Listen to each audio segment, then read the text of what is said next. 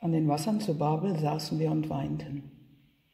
Mit diesen Worten beginnt ein Klagelied der Israeliten, die nach der Zerstörung Jerusalems nach Babylon ins Exil geführt wurden.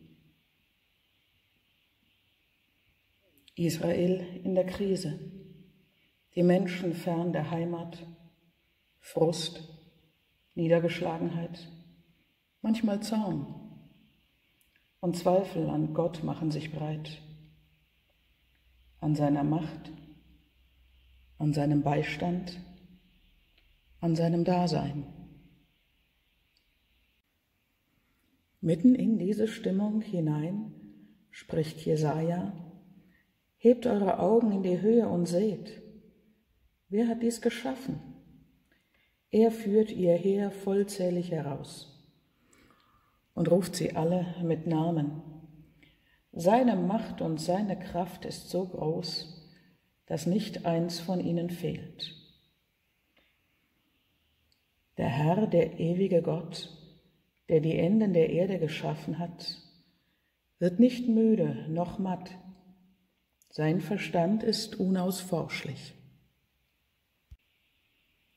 Er gibt den Müden Kraft und Stärke genug den Unvermögenden.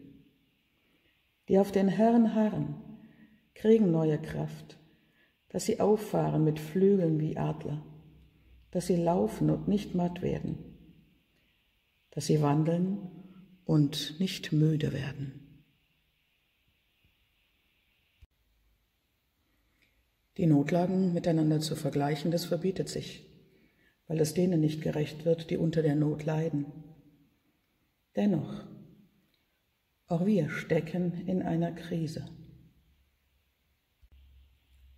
Und durch die Jahrhunderte ruft Jesaja auch uns zu. Hebt den Blick.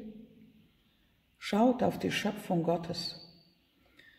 Haltet Ausschau nach ihm und nach den positiven Zeichen seiner Gegenwart, den Moment der Ewigkeit, das Stück Himmel, den Vorgeschmack auf eine bessere Zukunft, die Aussicht auf ein besseres Leben.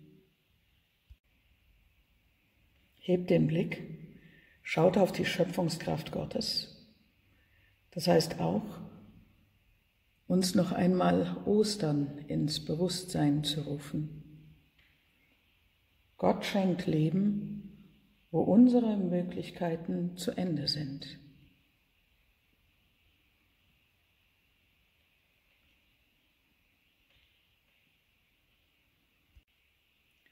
Für mich ist es eine Quelle des Trostes und der Kraft, mitten in der Krise, für den Weg durch diese Zeit